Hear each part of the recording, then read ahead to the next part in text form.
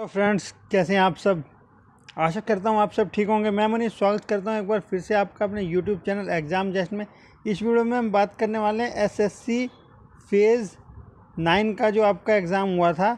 उसकी आंसर की है, जो वो आ चुकी है। रिज़ल्ट आपका कब तक आ सकता है? और रिज़ल्ट में जो देरी हो रही है, वो देरी क्यों हो रही है? इस पर भी हम इस वीडियो में बात करने वाले हैं। और रिज़ल्ट के बाद आपका जो बाकी का प्रोसेस है डॉक्यूमेंट वेरिफिकेशन और कुछ पोस्ट के अंदर शायद स्किल टेस्ट भी है तो वो आपका कब तक करा लिया जाएगा इस वीडियो में हम सभी चीज़ों पर बात करने वाले हैं। तो वीडियो स्टार्ट करने से पहले जो लोग चैनल पर न्यू विज़िट कर रहे हैं सब्सक्राइब करके बेल आइकन को ज़रूर प्रेस कर दीजिएगा गवर्नमेंट जॉब की पर्पल अपडेट के लिए।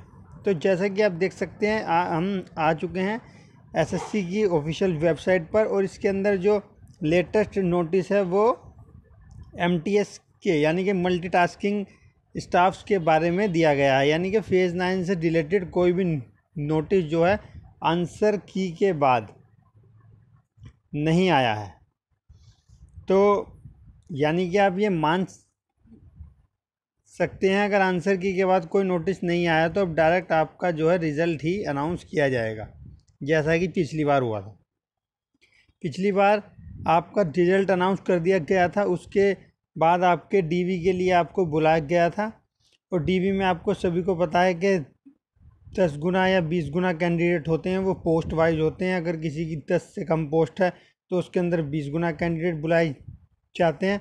और अगर दस से ज़्यादा पोस्ट है तो उसके अंदर दस गुना कैंडिडेट बुलाए जाते हैं। कुछ इस तरीके का फ़ेज़ नाइन का इनका प्रोसेस रहता है। फ़ेज़ नाइन का इनका प्रोसेस रहता है। अगर मैं बात करता हूँ कि जो रिज़ल्ट है आपका कब तक जारी हो जाएगा तो रिज़ल्ट आपका जारी मई के मंथ में, यानी कि मई के मंथ में आपका रिज़ल्ट जो है जारी किया जा सकता है। अभी इसकी कोई ऑफिशियल नोटिस जारी नहीं हुआ है कि आपका मई में जारी होगा, लेकिन जैसे पिछली बार, जैसे एग्ज़ाम ख़त्म हुआ था, उसके तीन मंथ के बाद आपका रिज़ल्ट जो है, वो जारी कर दिया गया था।